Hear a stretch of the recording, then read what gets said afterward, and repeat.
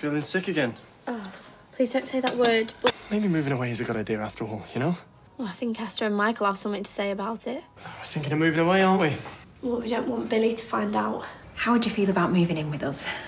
We think that we might need a bit more time just to, you know, consider it properly. What what do you think? I would love to move in. Yay! oh, excuse me. Aaron's dad's here and he's definitely been drinking. He's literally just nodded off. Aaron, I'm bleeding. So I've had a miscarriage. I'm sorry. What are we going to do about Esther and Mike?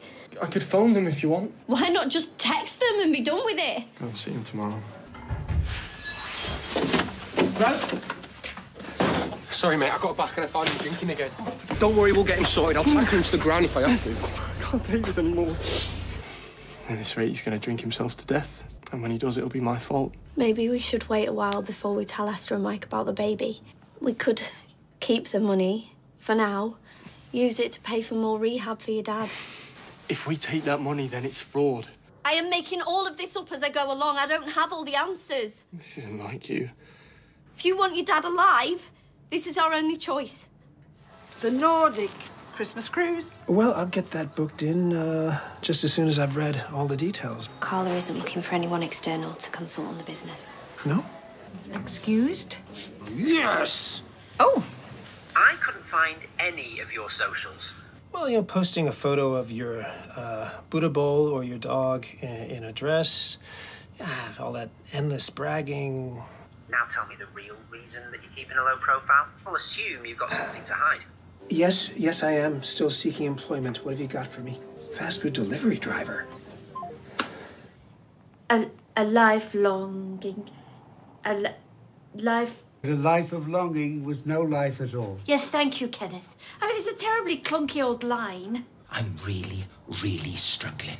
I can't wait to see what you make of my script. I've already had some thoughts. Ken, you've decimated it. No, uh-uh. Don't be so hasty. I need to be going. Fire engagement. What a shame. I'm sure all your hard work will pay off in the end. How are you doing? Fine. It's just that Eileen's been filling me in on how you're coping after the breakup with the dental assistant. Come on then, what do you want to watch? I was actually going playing football with Liam and Jake. Well, why don't I come with you? Go team! I think he's lonely. Sean? Well, ever since him and Laurence split up, it's like he's relying on me too much. Leave it with me. Uh, listen, um, I don't suppose you've got any time later on, have you? You could come out this afternoon and give us a quote. Yeah, I'll come round this afternoon. We were told between 15 and 15 grand is, is what we were quoting. It's more like 20k. Now what are we going to do? The money Natasha left him. Oh, Nick, come on, we've already talked about this. I talked to him, explained. I've been thinking about that money your mum left. No, don't worry. I'm going to make sure I put it to good use. Get myself through university and land a top job by the end of it.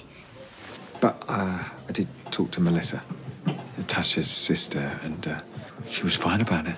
She saw it as an investment in Sam's future. Oh, I'm just so relieved it's all sorted. Uh, not much change out of 20 grand. Yeah, pretty much the same as the quotes I've already got, to be honest. Right, and this is just a business transaction, yeah. Right, so congratulations. You're now officially my partner in crime.